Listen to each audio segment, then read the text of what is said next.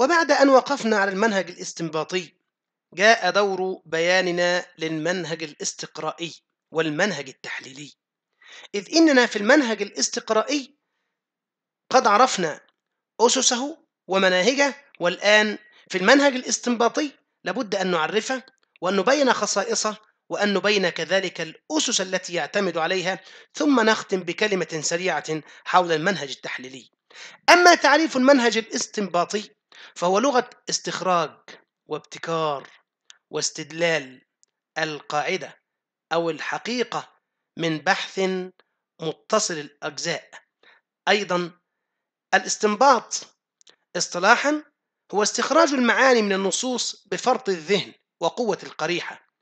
هذا النوع كما تشاهد عزيزي الطالب يحتاج فيه الباحث إلى كد الذهن وفرط الخاطر حتى يقف على حقائقه. والمنهج الاستنباطي من خصائصه أنه يربط العقل فيه بين المقدمات والنتائج بين الأشياء وعللها على أساس المنطق والتأمل الذهني إذ هو يبدأ بالكليات ليصل منها إلى الجزئيات. ولعلنا عندما نستحضر صورة المنهج الاستقرائي نرى أن البون شاسع بينهما. إذ إن منهج الاستنباط يبدأ بالكليات ليصل منها إلى الجزئيات بينما المنهج الاستقرائي يبدأ بالجزئيات ليصل الباحث بعد دراستها إلى الكليات. أيضا من خصائص المنهج الاستنباطي بعد أن عرفنا تعرفناه لغة واصطلاحا فنقف أيضا على أن البحث الاستنباطي أو المنهج الاستنباطي يعتمد على الأمر الكلي في نصوص متفرقة أو أحكام جزئية كثيرة.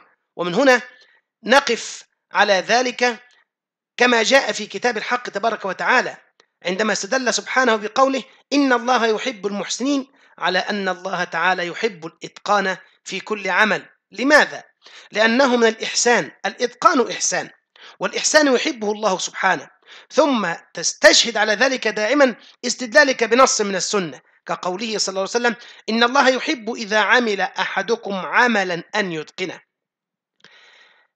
والمنهج الاستنباطي كذلك من خصائصه يعتمد على مسلمة ثم يحاول الباحث استنتاج حكم كلي يربط العقل فيه بين المقدمات المسلمة والنتائج. وإذا صحت في القاعدة الشهيرة إذا صحت المقدمات صحت النتائج والعكس صحيح.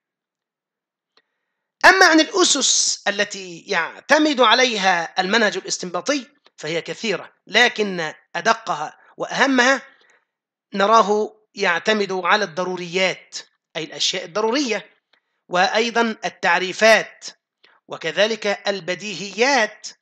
الواحد زائد الواحد يساوي اثنان وأيضا الأوليات البدايات الحقيقية التي يصل منها الباحث إلى النتائج المرجو. أيضا يعتمد هذا النوع من المناهج على المشاهدات وأيضا على المسلمات. ومن هنا يمكننا أن نقرر وبإخلاص وبصدق أن صدق النتيجة وصحتها في الاستنباط معتمد اعتمادا كليا على صحة تلك المقدمات وصدقها.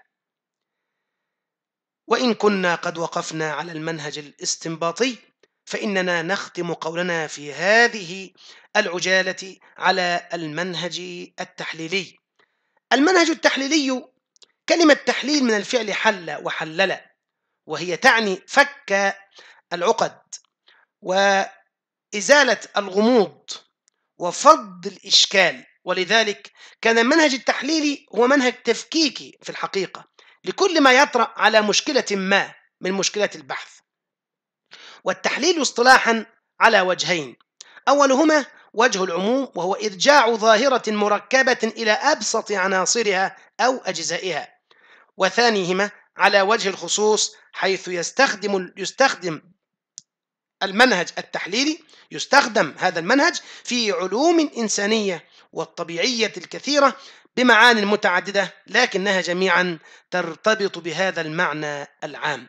وبهذا نكون قد وقفنا على المناهج البحثية التي لا بد منها للباحث كي ينتج ثمارا يانعة وكي يصل إلى نتائج مرجوة من وراء بحثه وإلى مزيد من بيان درجات البحث العلمي.